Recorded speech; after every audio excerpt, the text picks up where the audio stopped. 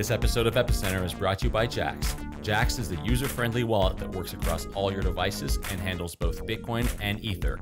Go to jaxx.io and embrace the future of cryptocurrency wallets. And by the Ledger Nano S, the hardware wallet which sets the new standard in security and usability. Get it today at ledgerwallet.com and use the offer code EPICENTER to get 10% off your order. Hi, welcome to Epicenter, the show which talks about the technologies, projects, and startups driving decentralization and the global blockchain revolution. My name is Sebastian Couture. And I'm Meher Roy. In the last episode, we interviewed TrueBit, and this episode is also focused on uh, distributed computing, the idea of blockchains and distributed computing. And we are focusing this episode on a project called iExec. So, with us as guest is Gilles Fedak, who is the co founder of um, who's the founder of iExec, and he is he is a permanent research scientist at INRIA, which is the which is a French public body for research in computer science. Gilles, welcome to the show, and we are glad to have you here. Thank you. So before we start, tell us a bit about your background. What have you been doing over at INRIA? So yeah, I'm a researcher at uh, INRIA. My research uh, background is on uh, parallel and distributed computing. And more specifically, my research topic, this is really where I'm um, uh, doing a lot of effort, it's on a desktop grid, what we call desktop grid, which is basically the idea of using a very large number of uh, machines on the internet, uh, typically desktop, it could be also data centers, to execute very large parallel applications. Uh, so I've been doing this since uh, the 2000s. Uh, I wrote, I developed many um, software in this uh, area, uh, also algorithms, and I addressed all, not all, but many of the challenges, the research challenges around this research topic. So everything around data management, scheduling, fault tolerance, resilience, research certification, interoperability with existing e-science infrastructure, standardization, how to establish actual infrastructure based on this paradigm, uh, application of this paradigm, this computing paradigm, to other form of uh, distributed computing, such as cloud computing, uh, and so forth, quality of service. So, and so what, what is distributed computing used for? I mean, I think a lot of people have heard about distributed computing. It's a term that you know sort of gets thrown around. I think now in this age of cloud and you know, cloud computing, all this stuff well, what what what is this used for in, in, in what industry sectors? You know, for what purposes? So yeah, distributed computing is really a broad term, and uh, you know it's a kind of very large family. And in this family, you have different uh, category, if you want, depending on the infrastructure. So, for instance, cluster computing. This is when you have like a data centers with many machines that are very homogeneous, usually, and you know are very well connected. And the further you go, the further you can have infrastructure that are you know more loosely connected. So it goes, for instance, from cluster computing to grid computing. So grid computing, it's a network of clusters, typically.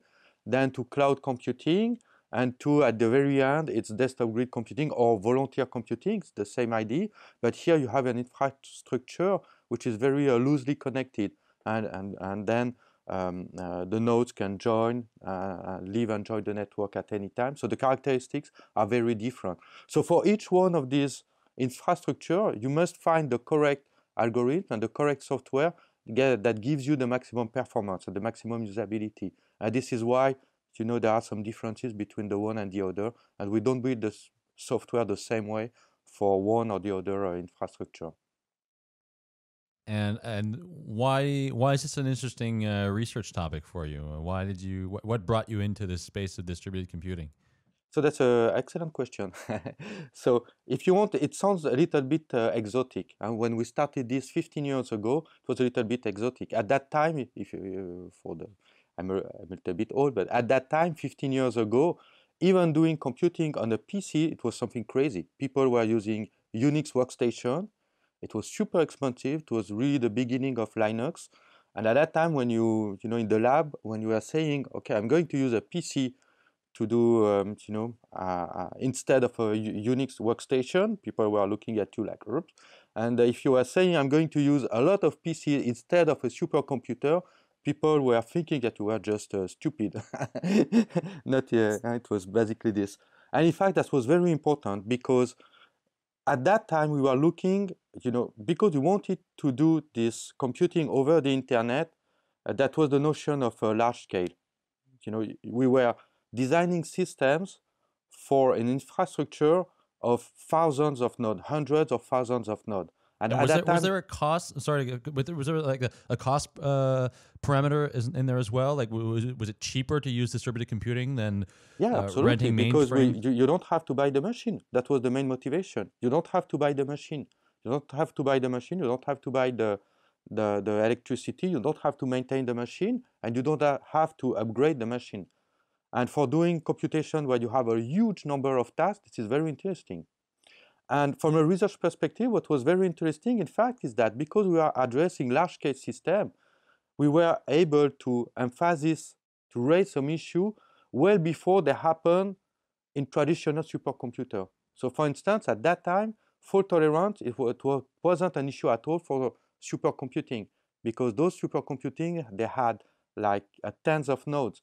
Now the largest supercomputer, they have like 10 million nodes. So failure is a normal event, just like the internet. And so that as a researcher, it enabled me to address, you know, challenges that became totally mainstream, but well before. And for instance, technically speaking, the kind of algorithm we had for desktop grid computing, this is very similar to the way, for instance, we are designing now like Hadoop. Uh, Hadoop, it works very similarly to, to a desktop grid system because, because Google designed Hadoop, uh, in such a way that it can cope with uh, an infrastructure where the faults are a normal event. You know. So, what kind of desktop grid computing systems have you personally worked on, and what did these systems do? Yeah, so the my PhD thesis, I proposed um, a software called XtremWeb. Uh, XtremWeb, this is the idea of building a peer-to-peer network for uh, uh, doing uh, computing so at that time, I was a young student. I was very influenced by uh, Napster, and uh, I was downloading MP3s from other people. And I had a lot of my, you know, student mate. We were doing a lot of simulations, and they were always, you know, asking for CPU time, CPU time. And so my idea was, uh, well, why don't we build a sort of Napster, but for CPUs? And that was basically the the idea of uh, of XtremWeb. So um, after that, you know, this is a, a project that you know, allowed me to, I use that as a sort of a research platform, you know, to investigate different way of doing uh, computation. And after that, I did a lot of things around uh, um, quality of service, for instance. I developed uh, SpeQuloS. I developed BitDew. BitDew is a very interesting piece of software in the sense that it allows you to do uh, effective data management for this kind of infrastructure. And this is something difficult. Uh, you, you must find new paradigm to do this you know, because locality is important. Uh, you don't know the machines you are going to work with. That's something really important. You know, when you have a cluster, you know the set of machines that that that you are working with, so you can keep track of things.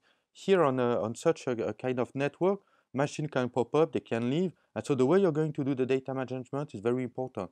That the issues with locality, you don't want to move the data unnecessarily, these kind of things. You want to minimize um, data movement. And then we did MapReduce over the internet. We were the first one to do that. Uh, many, many different. And one of the most important results that we did during this period was that we participated to several European projects that were aiming at establishing a real infrastructure based on this paradigm and usable by regular scientists, you know. And so what we did is that we were, um, it was something like four different projects uh, EU project, FP7 project. Uh, so we were at least nine partners from uh, everywhere in Europe, and we glued to together several of these infrastructure, and we bridged them to the regular European e-science infrastructure. So at the end, that was quite interesting because for a regular scientist, you know, he could launch his jobs on the grid, so we call that a grid computing, uh, on the European grid, at the end, the end, it could end up being processed by your desktop PCs on the internet. And this totally transparently with the same level of uh, security, traceability, accountability that is required by the, the European uh, grid infrastructure. You can't do things without, you know, being authorized to do that uh, uh, and so forth. So here I learned a lot because it was really a practical thing, you know. We really established a, a real infrastructure. This was very, very important in my, uh, in my, um, in this work. I would not do iExec without this experience. Never. when I listen to this, I'm kind of struck by how it seems that there are these desktop grid computing infrastructures for various kinds of research, right? Like, so there's this European machine that, then there's, I think, some, this BOINC that also has some kind of uh, grid computing with volunteers producing computing power. So I think in, in various kinds of research, you do have like distributed grid computing, but this has, hasn't really percolated down to the mass market where like a normal developer when he when he's building a, a web application is, is using that kind of computing infrastructure.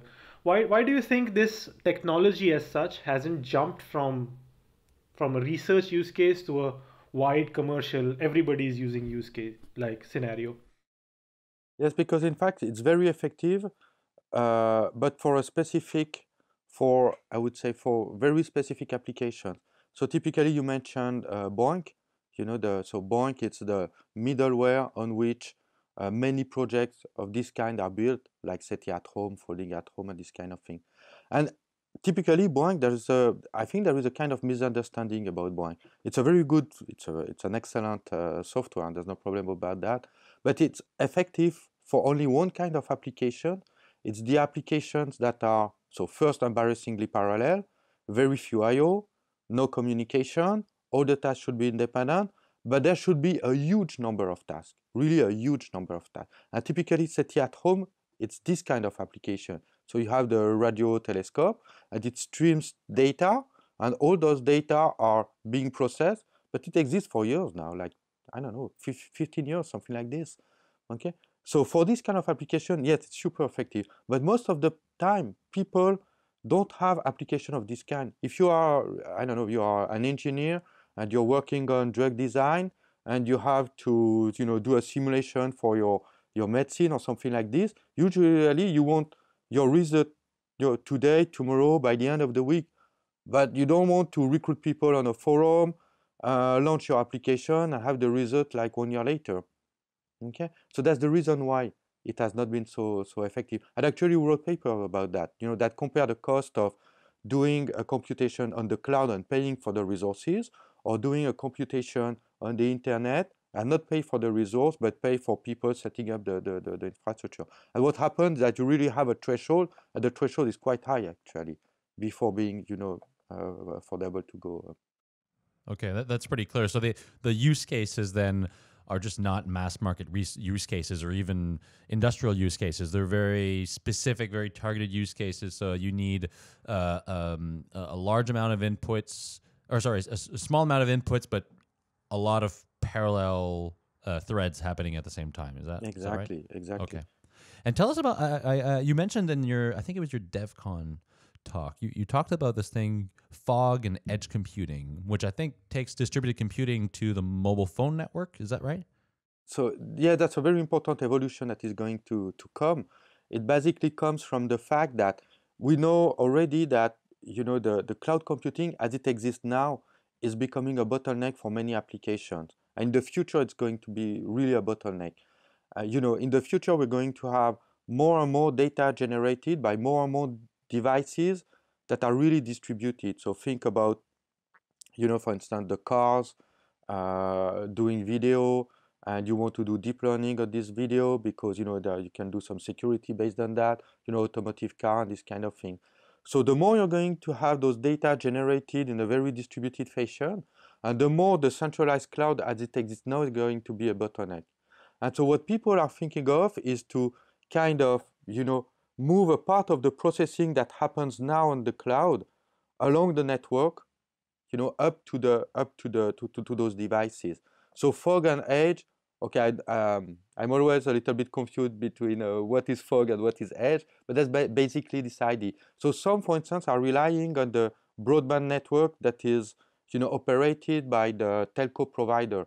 So Deutsche Telekom, AT&T, Orange, etc. And for them, for instance, we did a, a study, of our colleagues of me did a, a study a couple of uh, months ago that compared the cost of having a cloud, you know, centralized and the cost of operating this cloud, uh, you know, in a hybrid way, centralized and also distributed along the network.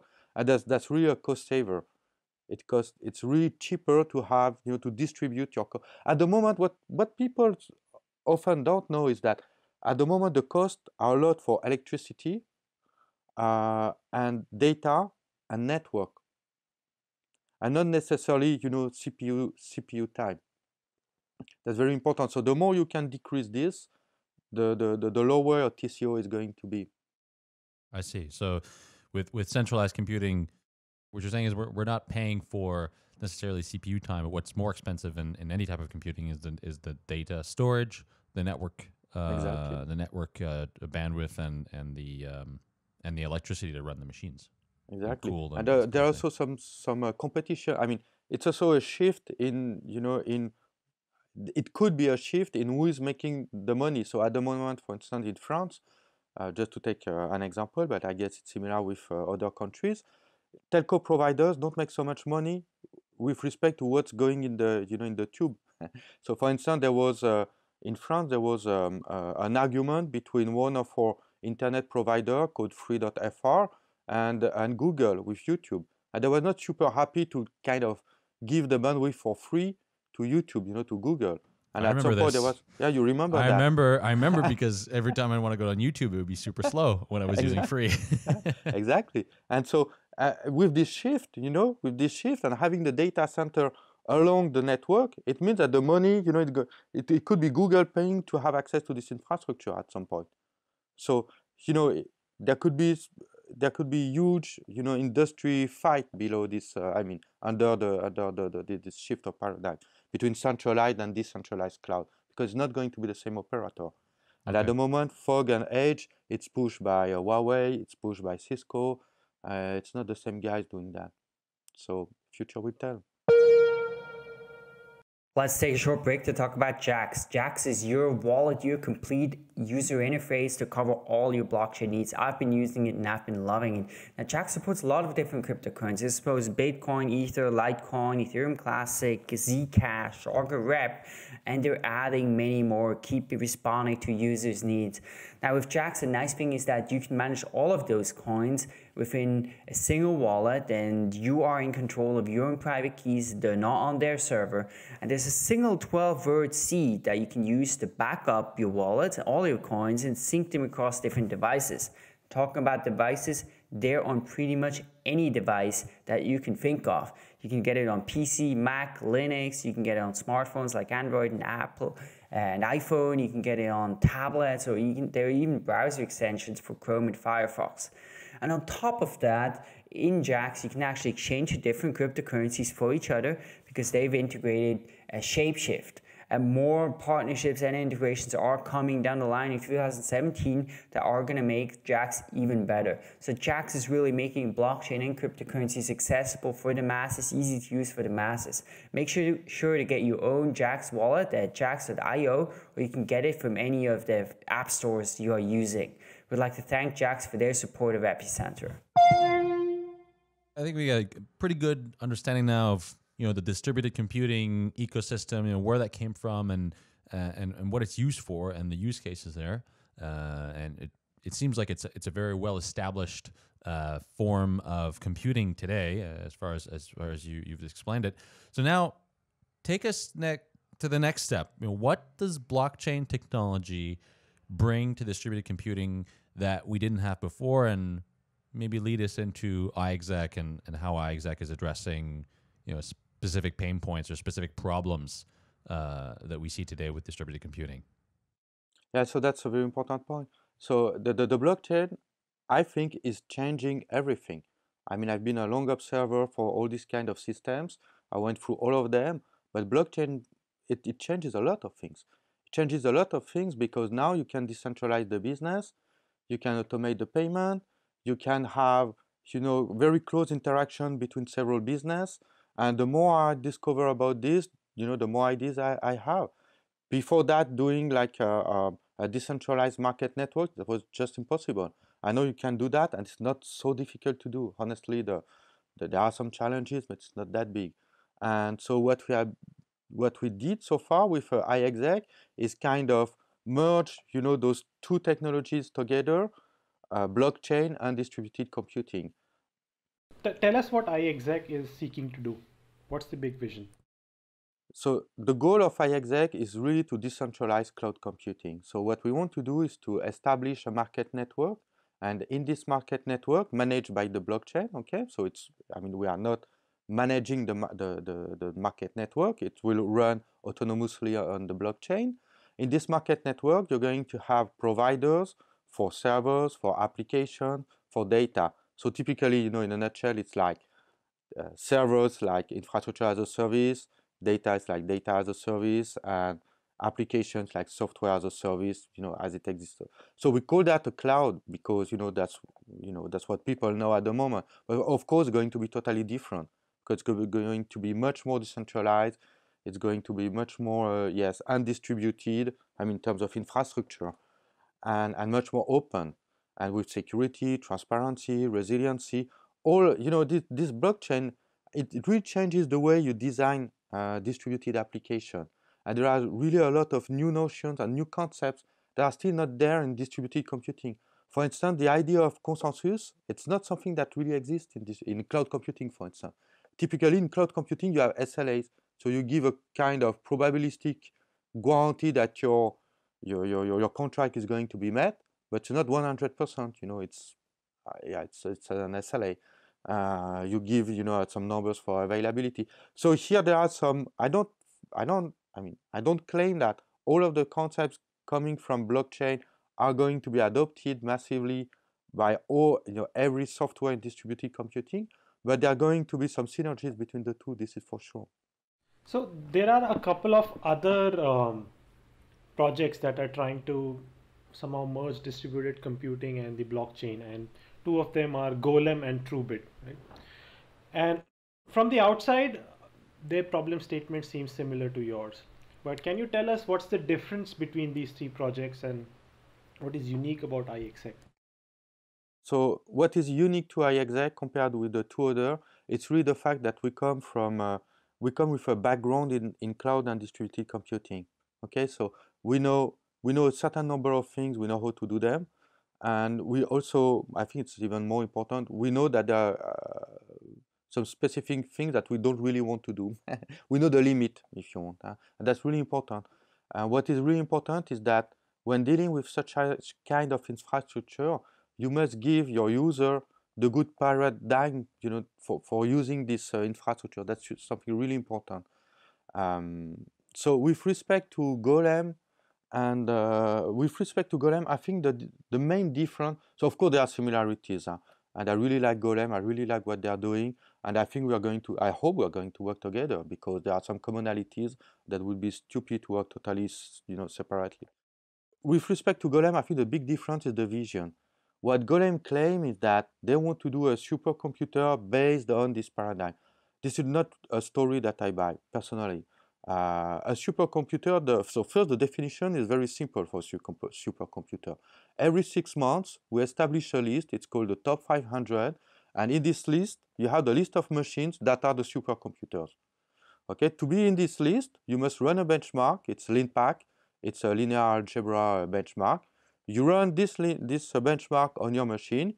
You look at the number of uh, floating point operation per second you can achieve, and you, you're ranked. And if you rank among the top 500, you have a supercomputer. So, I mean, that's the definition. So having a supercomputer based on that, I mean, doesn't make sense. And people don't want that. Okay, so iExec have, has a very different vision for that. Our vision is really the distributed cloud. So it's really, we don't, I don't believe in one big application that would use thousands and thousands of machines. What I believe in, it's thousands of dApps doing off-chain computation and accessing a huge computing infrastructure totally distributed. That's very different. And the way you design the software for that is totally different. Incentives must, must be different, uh, the performance are different, etc., etc. from what I understand from what you're saying, and the, the feeling that I'm getting is that perhaps using the term supercomputer is is somewhat misleading because that's not really what this is. Could we expect something like Golem to really compete with this, you know, top 500 list of supercomputers? I don't know. That's their problem, not mine. no, but I, I, I, so I think that maybe the difference between so I, I mean, I don't know very much about Golem. I, am hoping we can have them on at some point. But between TrueBit and iExec, it it appears to me that the difference is that TrueBit is trying to bring complex computations to smart contracts, while uh, iExec is trying to bring the blockchain to distributed computing.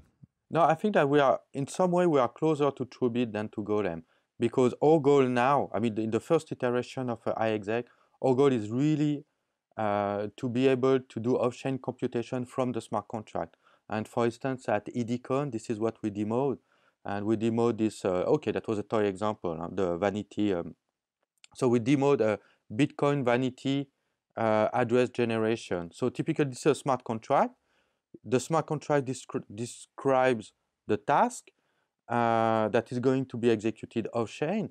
And the first goal of iExec is to allow those dApps, so what we call dApps, the, you know, the distributed application running on the blockchain in the form of a smart contract, to perform a part of the computation off-chain. Okay, so this is really our primary goal now. This is really what we want to do, and uh, at first, okay. Uh, and the way we do this, is to execute that off-chain using those this I mean using this uh, distributed computing technology.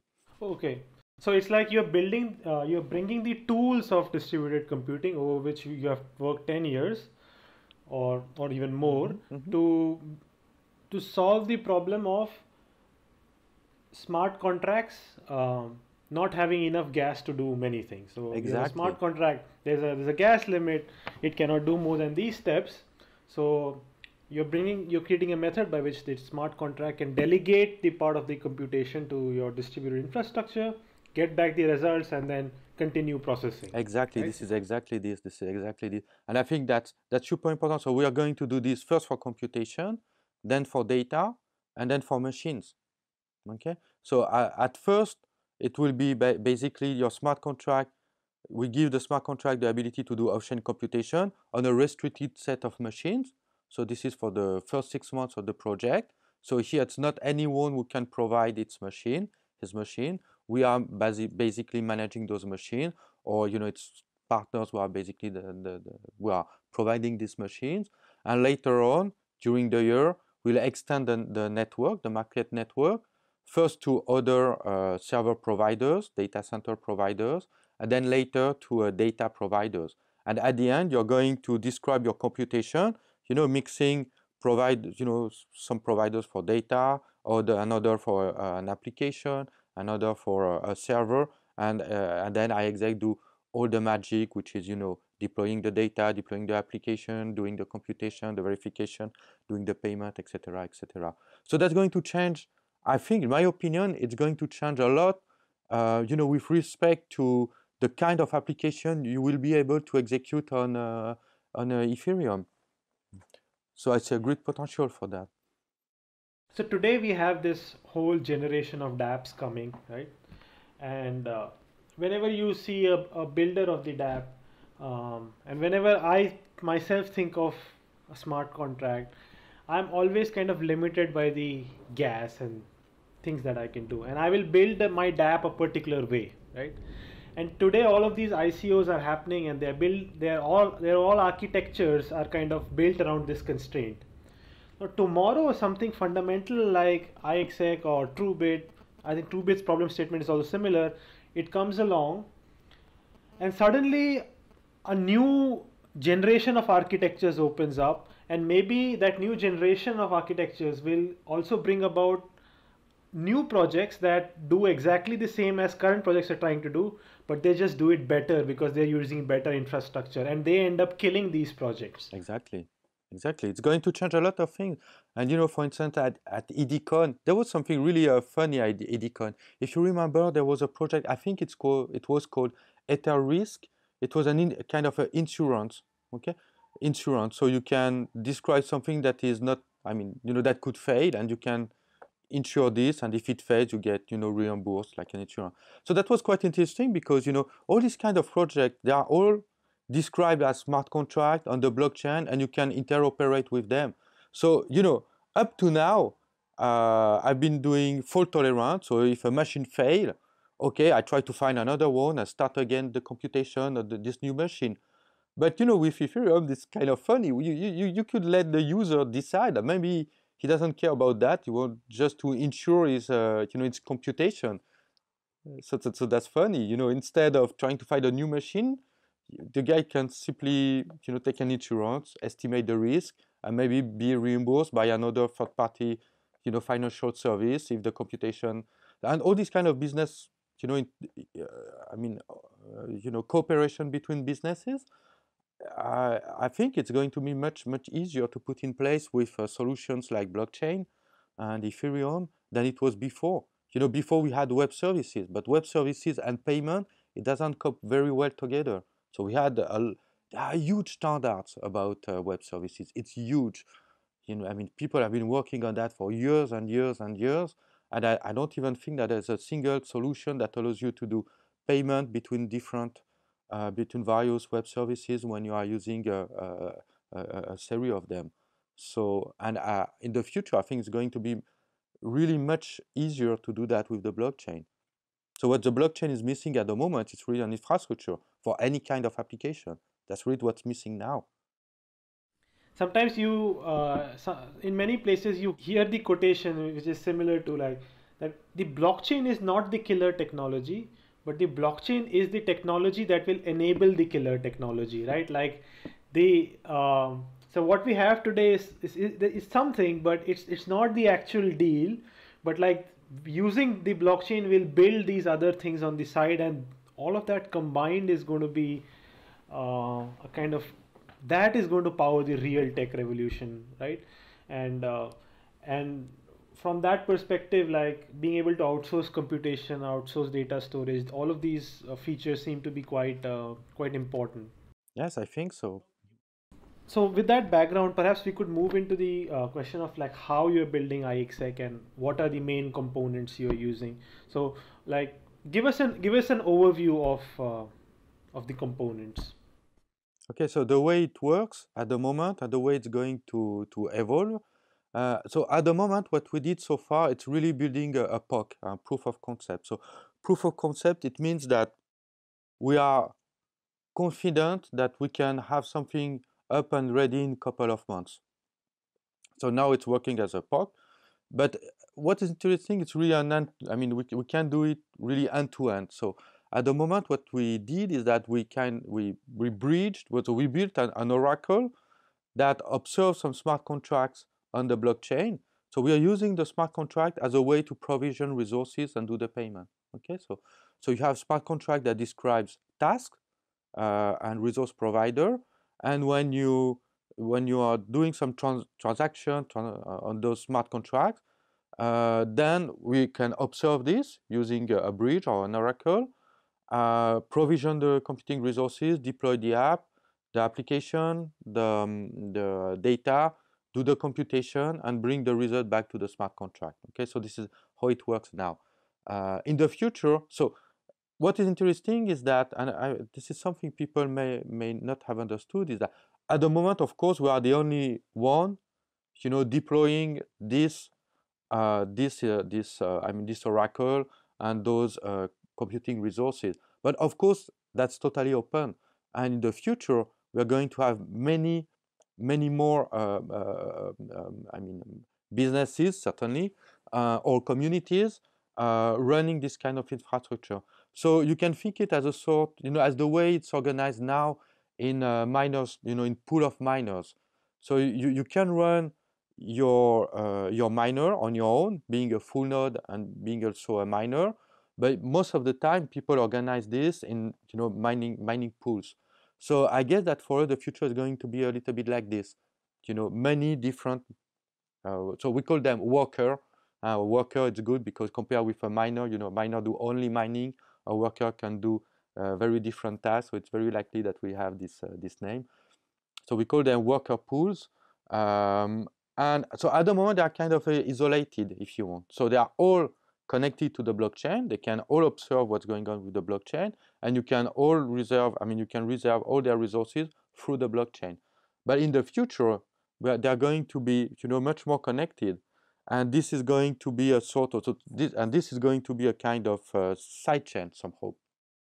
What is important to understand is that uh, on the Ethereum blockchain at the moment, and I think it's going to be like this for a couple of time at least, for many years, I think, uh, you are quite limited on the logic you can run on the Ethereum blockchain. And there are parts of the algorithm that you need to do when you do a distributed computing uh, that is not likely to be uh, that you, I mean, that, that is going to be very difficult to execute on the Ethereum blockchain. So anyhow, you must have some, you know, some component running side by side with Ethereum. This is important. So for example, just to give you an example, uh, three years ago, I think, with uh, Mircea Moca, so one, one of my colleagues, we um, proposed an algorithm for doing scheduling. So scheduling, this is the algorithm which decides which task is going to be executed on which nodes. Okay, and for uh, with Mircea, we designed an algorithm which is a multi-criteria algorithm. This is really important, this kind of algorithm, because it allows the user to say, for instance, you know, um, requirements such as I'm ready to pay a lot, but I want my computation to go as fast as possible. Or, uh, or, or, or, conversely, uh, I want to pay a very cheap price, even if it takes longer.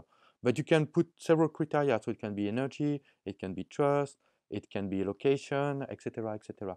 So this kind of algorithm, the way it works, it's, it's memory intensive and compute intensive. So the one we proposed was based on PROMETHEE method, it's basically you do you know a big matrix, you evaluate the different criteria, and then you do pairwise comparison.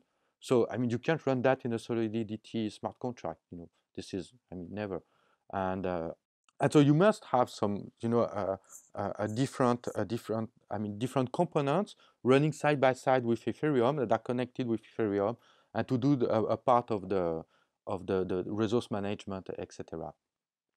Another thing that is important is that the notion of consensus as it exists in the blockchain is not always very relevant to the off-chain computation. Okay, at the moment it's clear.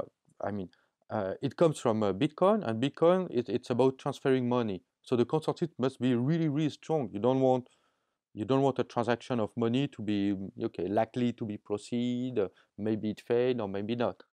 Okay, and Ethereum uh, somehow uh, herits from this um, from this uh, when you do off-chain computation, the the consensus, the no, this notion of consensus, it has to be more um, flexible because you have computation where you can totally afford to have a fraction of the results wrong. It can be totally okay, and it really depends on the application. You have different way of, uh, you know, certifying the results, uh, verifying the results. Uh, it can be, you know, you can you can have a situation where, for instance, verifying a computation costs the same than running the computation at once, or it can be very easy to, um, it can be much more, um, how to say, uh, it can be only a fraction of the original computation to verify the result. Think, for instance, of rendering uh, uh, an image, you know, doing a, a 3D rendering, for instance. You can verify the result just by spotting some pixel in the image and of course it costs less than if you do uh, some cryptography sometimes you just have to verify the, the, the, the, keys or things like this. So it must be a framework. It must be a framework. And so you, you must have the consensus on this side chain so this is, you know, this is I mean, this is work for the future. We, it's not yet ready, but uh, this is where we're going to go in the in the next years. So you must have a system where you still have the traceability that exists on the blockchain.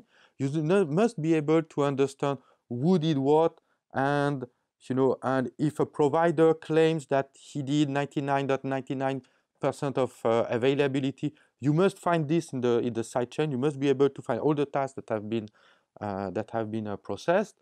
But still, the consensus, you know, you don't need proof of work if there are some. Um, sometimes there are some errors that can be totally okay. So it must be tunable, and the performance also are going to be very different. At the moment, the performance that you have with Ethereum, it doesn't allow for uh, distributed computing, not at all. You can have, you know, millions of tasks executed, millions of uh, files downloaded, and uh, and if you want to do that, you know, if you have one transaction per per uh, action on Ethereum, it's just impossible. So in the future, I think that they are going to be, you know, uh, part of the logic that is on Ethereum. I would say the important things, you know, resource provisioning, payment, description of the, the, the task, description of the resources, all these kind of things. And a part of the consensus that is really done off-chain. I mean, the consensus itself is going to be done with a dedicated protocol off-chain that can, accommodate with uh, those uh, performance requirements, low latency, uh, high throughput, etc., etc. Even if you have some mechanisms where, for instance, you can go backwards, you know, on a, on a blockchain like like Ethereum, I mean, that would be bizarre to have a situation where you say, okay, I give you some money, but I wait a little, maybe the money has not been sent. We have to wait for, you know, two days. And if nobody says that nobody reclaimed the money, you're going to have the money. But for executing computation, that's totally okay. You can say, okay, let's assume that all those tasks went right. Uh, we assume that for, let's say, 24 hours. And if it's not the case, we are going to figure out what, uh, what went wrong. But at least you have a result immediately.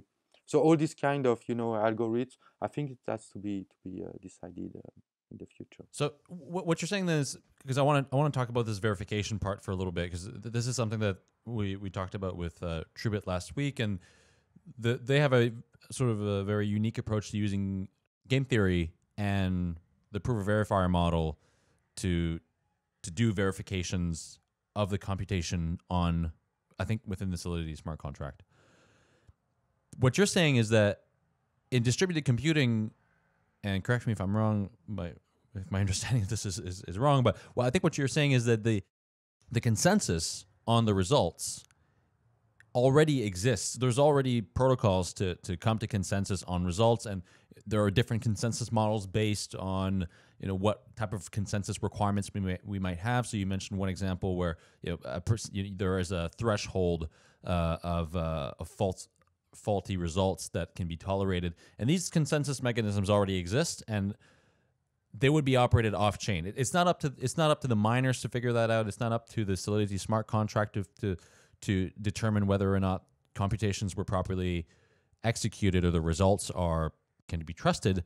That's that's happening in the distributed computing network, and then I presume that the the network can then send proofs to the smart contract so that transactions can then mm-hmm. be be executed on the Ethereum chain. Is that right? I think so. Yeah. I mean, well, it's really a case by case basis. Huh? It's uh, my assumption is that we are going to have a kind of uh, a way to have the consensus that fits most of the cases. But for instance, the way we're doing that at the moment is by comparing the results. So first, uh, first assumption, I don't know, I don't know the details about TrueBit. Huh? I looked at it very quickly. Uh, unfortunately, at the moment, I don't have so much time to. It's very, very interesting. I love that.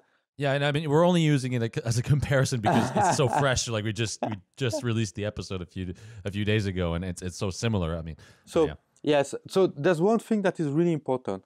Up to now, you know, with so with desktop grid computing, you're using machine that you don't trust.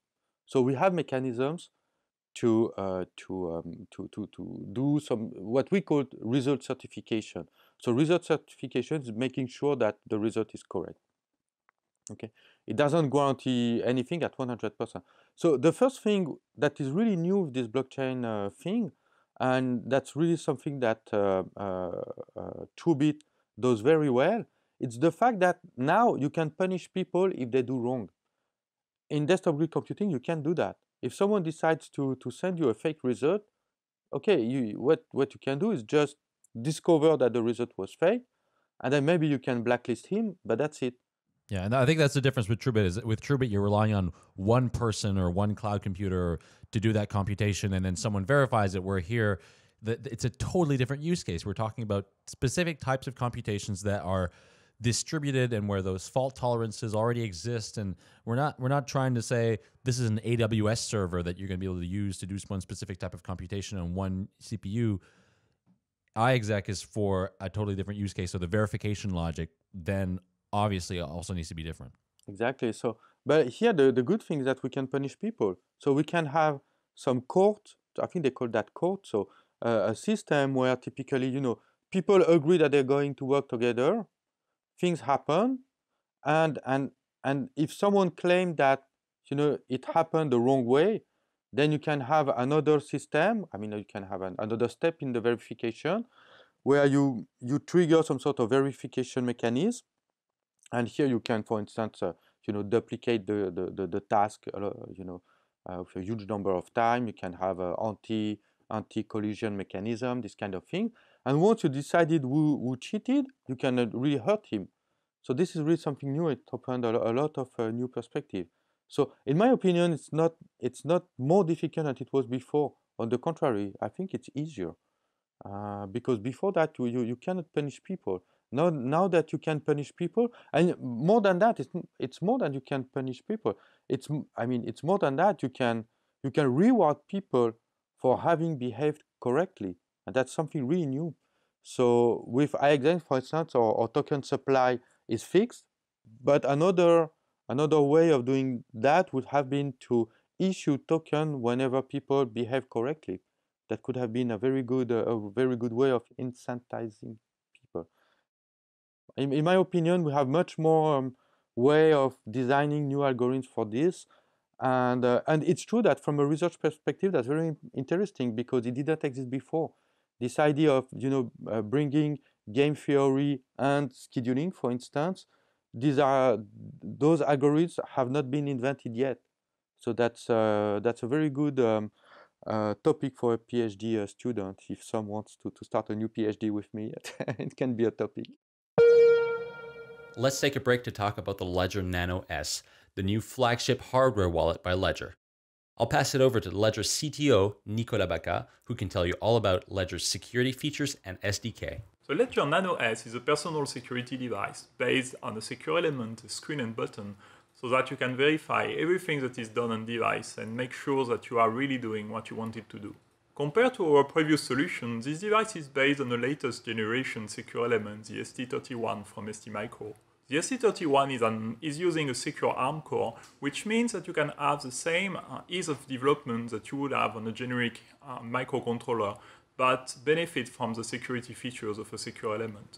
Security features uh, include an application firewall at the lowest level that lets you protect applications from each other, which means that you can load multiple applications on the hardware wallet, even post-issuance, and you as a developer will be able to leverage these features to load your own application without our authorization and without any kind of authorization from the vendor. We will be providing this device with an open SDK um, that lets you do anything you want with this device. We provide sample applications for cryptocurrencies, different cryptocurrencies, so Bitcoin, Ethereum. Uh, we will also provide a FIDO authenticator and you will be free to add everything you like. For example, you could add some secure messaging, some encrypted chat, and you'll see that the solution is quite powerful and very easy to develop with. The Nano S sets the new standard in hardware wallet security and usability. You can get yours today at ledgerwallet.com, and when you do, be sure to use the offer code EPICENTER to get 10% off your first order. We'd like to thank Ledger for their support of Epicenter. The key thing I understand from your explanations is so with TrueBit, right? Like, and, and I'm taking that sort of as a reference because that is very fresh in our minds. TrueBit takes the approach that there's like one particular verification method methodology that's going to work in in all all the cases, and that is the smart contract delegates something to a to a solver. The solver gives the result somebody can challenge the result and then this the smart contract sort of becomes the judge and decides whether to award award, award the challenger or the solver the money mm-hmm. right so and by making this into this uh, the smart contract into a judge saying the solver did it correctly or he didn't do it correctly you incentivize good behavior from the solver and that is how it works so that's like one verification model mm-hmm. and what you're saying is iExec is taking the approach that there isn't going to be one winning verification model. Each different type of application, where uh, there might be multiple different verification models, such as some might, uh, some tasks might, it might be easy to verify computations in some tasks very easily by just observing the result. There might be some other tasks in which you need a verification game like that. And there might be some other tasks in which certain faults can also be tolerated. So there is isn't going to be one winning verification model. There's going to be multiple of them, and you are building your system in a modular way that allows all of these mechanisms to be implemented. Yes, think uh, I don't know if you know Gridcoin, but Gridcoin works a little bit this way somehow.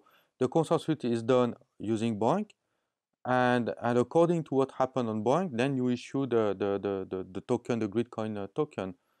So uh, to me, it's going to be uh, you know half half. So they're going to be, for instance, the court making. I mean, pushing the court on Ethereum. I think it makes sense. That's a, that's a very good way. I mean, there's no problem with that. Writing smart contract that implements the code that punish people if it if things went wrong, that you know that are able to relaunch computation to to to to to know who who did wrong. It's totally okay to do this on a smart contract. There's no problem with this.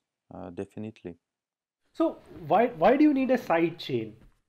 We need a side chain because you don't want all the consensus operation to happen uh, on Ethereum because it's going to be because for reason of performance because not all the consensus because sometimes the consensus you know so for instance imagine a situation like that you know i let's say i submit 1000 tasks you know so you could have on ethereum the fact that you sent 1000 tasks the fact that everybody agreed that the 1000 tasks were done correctly okay and then you can have on the side chain each one of these individual tasks you know who computed them when they were uh, uh, finished, if they have been launched again on a new machine, if the result was wrong and launched again on this new machine, etc., etc., etc. Because you can do that on a side chain where the consensus is not so strong. Uh, I mean, you know, uh, executing a task, executing a task again, it's, I mean, it's not, you know, it's not as important as sending money, honestly. Uh, uh, you can really address the performance issue because at the moment with uh, Ethereum, it's one transaction per one transaction. So here you can dedicate a system that goes you know really fast, so no proof of work, of course. On the on this side chain, you're not going to to manage money. So I mean the, the tokens or you know the, the the thing that you're going to use in the structure in the in the um, in the distributed st structure is not going to have any value so uh, certainly not going to secure it in the way you're securing a proof of work, you know, a blockchain that that that, that uses proof of work. So maybe you can use Paxos. You, I, I don't know this kind of Byzantine distributed fault tolerant. I don't know which one, but honestly, it's for me, it's uh, there's a large variety of uh, protocol that you can use to do that. So we can think of this as like a three three tiered system. One is like the smart contract. Mm -hmm uh, the smart contract has uh, the highest level function, which is task task definition and payment. Task definition, solution, payment. Yeah, and maybe then on top, then on top of it, there is a side chain mm-hmm. which has like faster consensus, uh, still still some trustlessness, but not like that of a smart contract. But it does it does uh, lower value things like scheduling, like deciding what to do first, what to do next uh, deciding matchmaking, which machine should do what exactly. particular thing, yeah. right? Uh, verification of whether something was done right, etc. And then this sidechain performs this role, but actual computations are on layer three on on top, which is the actual machines that are computing. Yeah, exactly. That's the yeah. That's what, this is it. yeah. And then the then basically the machines do the computation at la la layer three it ripples down into the side chain side chain verifies the result and then from this side chain that result ripples down into the smart contract and then uh, so smart contract gets the result and maybe smart contract will trigger a transaction to another smart contract or something and then another another loops triggers yes at the end i think it's it's going to be like this most certainly at the moment we don't have this side chain so at the moment we're working you know with everything either on smart contract on a, or on a set of distributed servers. Uh, but at least you know it allows us to to, to start and to, to be useful now. But yeah. I think you mentioned earlier. I don't know if we were talking about before the show, or but that the, there'll be a token. Uh, and uh, uh, could you could you explain what the what the token will serve for, and uh, maybe, maybe before we wrap up, we can talk about uh, you know how you plan on on releasing this token. Yeah, so the, the token is the so this token is the one that is going to allow you to allow your smart contract to do off-chain computation. And so this, this token will circulate between uh, uh, dApps, between dApps, application provider, server provider, and data provider. So that's really important because it's really the token that is going to fuel this network. So, um, uh, so yeah, so we're going to release this token. So we're going to release this token on April 12 uh, using a crowd sale. So you can participate to this crowd sale uh, using uh, Ethereum or Bitcoin. It's managed by a, a smart contract, of course. And um, yeah, so there are 60 million tokens on sale at the basic price of uh, 5,000 tokens per Bitcoin. So how, how are you going to do this crowd sale? Are you so tell tell us then about the the business model uh, of iExec. Is, is iExec a company, a, a foundation, a, a, research body, and uh, who's going to be managing the crowd sale? I'm asking the question because you know crowd sales. There's, there's a lot of crowd sales uh, going on recently, and uh, um, some of them have have turned out to be fraudulent or you know, for lack of a better word, a, a scam. And you know, you can kind of tell when a when a project is uh, is is not really serious or uh, when the founders are making dubious claims, and you can sort of you know siphon out what, what projects are good or not based on the structure. Uh, we were talking about this earlier with regards to specific projects that are being funded right now, but um, yeah, reputation is very important, and and you know, you, you obviously have a, a, reputation within your field, and you have a reputation to preserve as well, right? You you you, you want to keep that reputation. So um, yeah, uh, convince us that, or convince our listeners, uh, and you know we should this shouldn't be taken as any type of investment advice, but yeah, convince our listeners as to how you're building this crowd sale and how um, they can trust that uh, you will deliver on what you're what you're laying out here as something you want to build.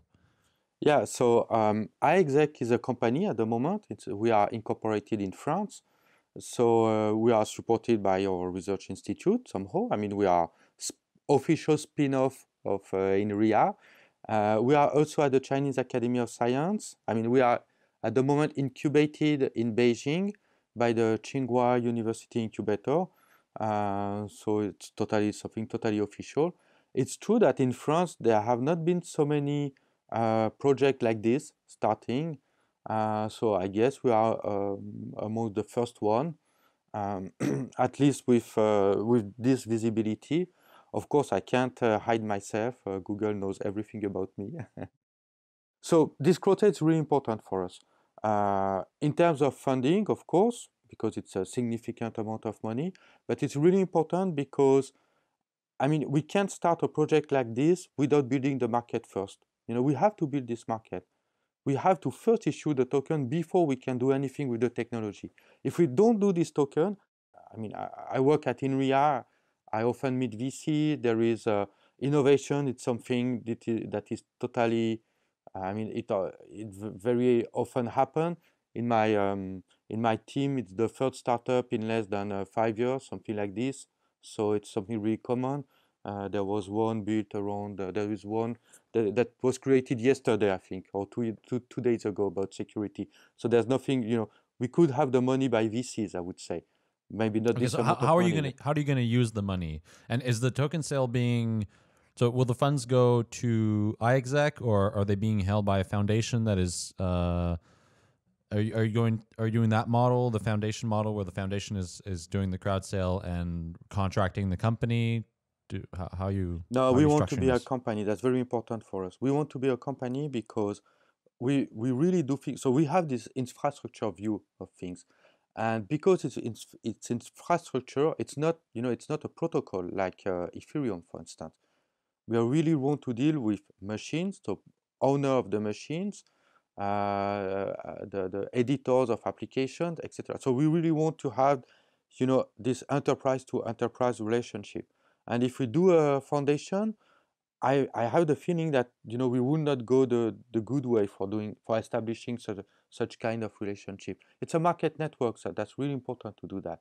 And so that's I mean this token sale is really important because if we don't do this token sale, I mean for me that's just impossible to imagine that we could build a, a real market network.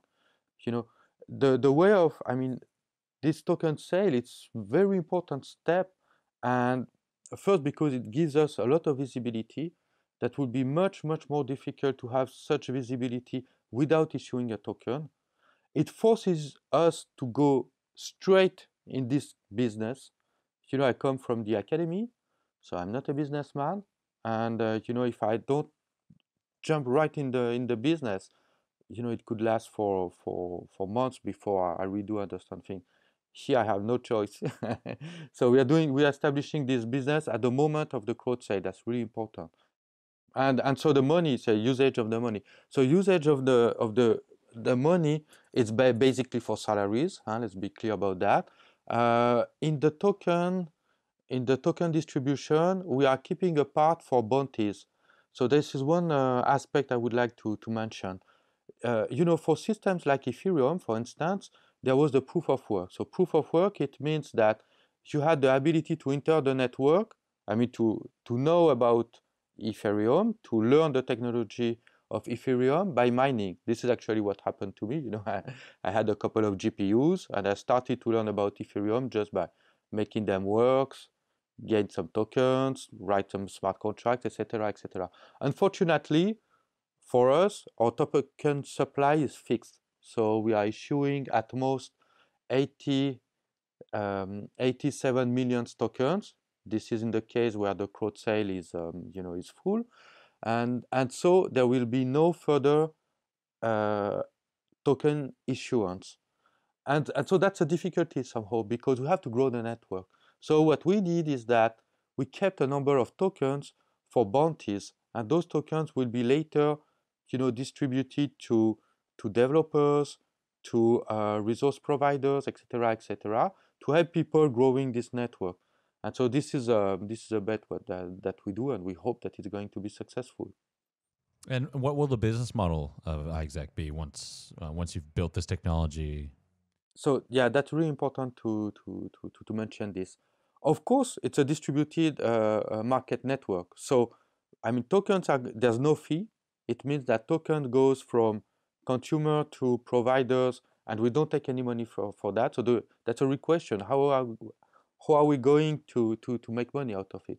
So my, uh, my claim is that, okay, for the blockchain part, it's really, you know, innovative, and it's a breakthrough technology, etc. The ICO, it's something totally new.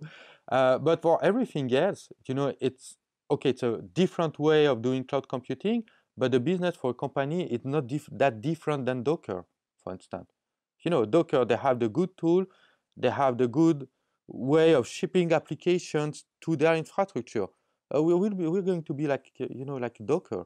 So we're going to have the tools, we're going to have the software, we're going to have the documentation, the support to ship those applications to this new kind of infrastructure, even though we are not managing the infrastructure. But Docker also does not manage the infrastructure, I guess. You know they are working so okay we're going to have certainly some sort of freemium feature and maybe based on quality of service or trust or uh, you know or like github. You know in github you have things that are public but if you want to have some private account then you have to pay for that.